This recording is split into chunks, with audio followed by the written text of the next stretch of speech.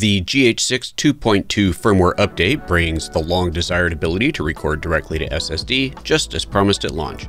Learn everything you need to know about recording to SSD, including how to update your GH6. The firmware update will be available for download from the Panasonic website on September 27th. Use this redirect URL or just Google search Lumix firmware update. This video was recorded before the update was available, but it'll be on the Micro Four Thirds tab right about here. The download will extract to two parts, 2.1 and 2.2, both of which are required. And no, you do not need to update to 2.0 first. To update the firmware, first make sure you are using a fully charged battery. You'll see what happens soon if you don't. Insert a CF Express or an SD card power on the camera, format the card, please don't skip this step, then power off the camera and remove the card. Insert the card into your computer. I'm using this new little mobile SD and micro SD card reader from ProGrade. Oh, gross. Polish the Apple logo if using a Mac so that it looks good on camera, just a little more, and copy both the 2.1 and 2.2 firmware update files to the root level of your card.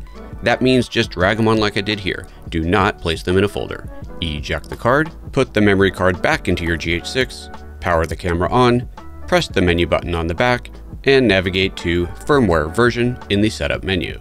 Then select Firmware Update.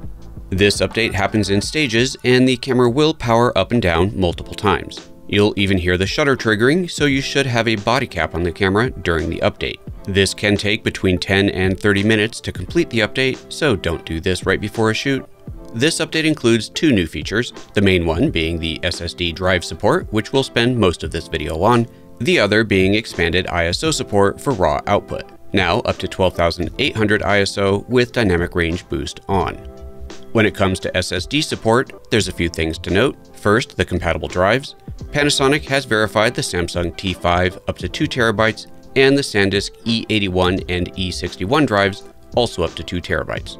To power the GH6 by battery, you do need to use the GH6 battery and not the older GH5 battery. As you may know, the GH5 batteries do work in the GH6, but when using them, you don't have access to all GH6 features, which now includes USB recording. Wait, is the update done already? No, it's at 2.1. Oh shit, it needs a fully charged battery.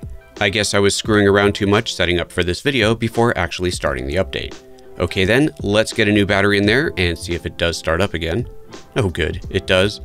Well then, we just unexpectedly tested this, so you can pick up where you left off if your update is interrupted. Still, I wouldn't recommend it.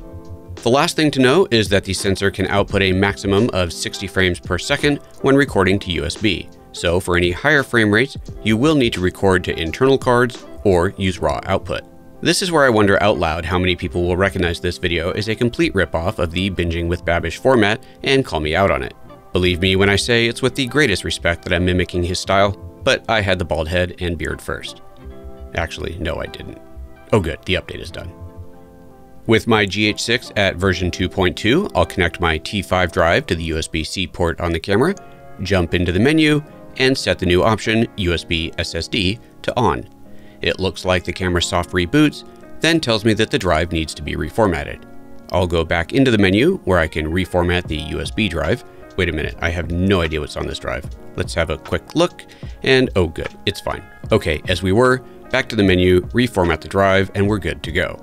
Let's look at the recording modes, which will show us where each format can be recorded to. C4K30 can be recorded to slots 1, 2, or the SSD, while this one at 120p can't be recorded to the SSD as it's over 60 FPS, while C4K60 at 800 megabit can be recorded to the CF Express card or USB SSD, but not to the SD card slot. Now we can't very well have this drive just dangling off the camera, so let's rig this up. This SSD holder from Kondor Blue will slide into the camera's hot shoe, while this little 8.5 inch USB-C cable connects the two neatly. If you want more security though, you could use the cable holder that came with your GH6 and a longer 12 inch USB cable to connect these more securely. But here's a conundrum.